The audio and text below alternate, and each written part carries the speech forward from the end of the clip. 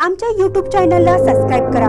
महानकारी news subscribe करा आणि notification on करा.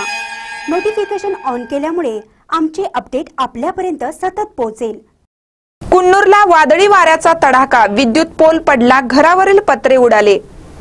चिकोडी तालुक्यातील कुन्नूर येथील केबीई विद्युत स्टेशनच्या पाठीमागे महाभागाच्या जवळ असलेल्या कल्लाप्पा घुडसे यांच्या घरावरील पत्रे गुरुवारी सायंकाळी अचानक सुरू झालेल्या वादळी पावसामुळे घरावरील पत्रे सुमारे पन्नास फूट लांब अंतरावर जाऊन पडले.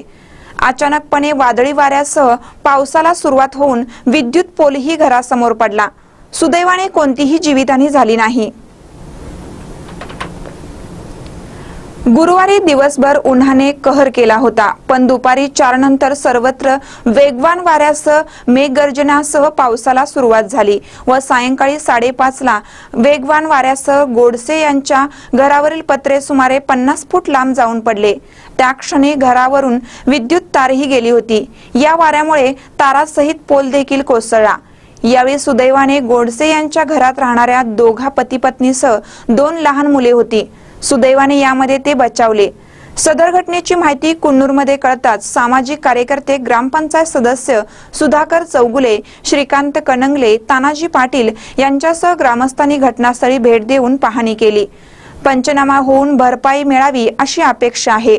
महानकर न्यूजसाठी कुन्नूरहून तानाजी बिरनाळे. आम्ही सगळी घरातच होतो. वार पाऊस चालू झाला आणि वारं जोरात होतं. साधारणतः किती वाजता घडली घटना? तरी पण पाच साडेपाच साडेपाचच्या दरम्यान घडली. काय होती परिस्थिती नेमकी ज्यावेळेला हे वारं वावटं सुटलं होतं? अं, पाऊस चालू होता. हा. जोरात पाऊस आला आणि वारं जोरदार सुटलं.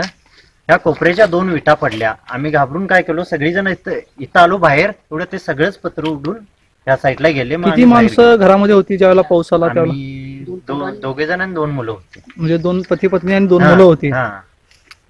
काय परिस्थिती झाली? नेमकं वारं कसं होतं? काय होती परिस्थिती? वारं अचानक सगळे ह्या साईडला दाबत होतं. पाऊस पण जोराचा होता. आणि विटा ज्यावेळी पडल्या त्यावेळी आम्ही घरातनं बाहेर आलो. म्हणजे एकंदरीत तुमचं दैव बलवत्तर हा. म्हणून तुम्ही आज वाचला. हा, वाचलो. ज्यावेळेला डाम पडला त्यावेळेला लाइट चालू होती का? नाही नाही लाइट गेलेली घरात. म्हणजे लाइट गेली होती त्यावेळेला. हा. सहा महिन्यापूर्वी पूर्ण केलं घर बांधून सगळपात परंतु हे आता वारं वा- पाऊस सुटल्यामुळे आमचे नुकसान भरपूर झालंय. कोण होतं राहायला या घरामध्ये सध्या? चुलत भाऊ. होते. साधारणतः किती नुकसान झालं असं तुम्हाला वाटतं यामध्ये? एक लाखापर्यंत झालं असं. एक लाखापर्यंत नुकसान झालेलं आहे.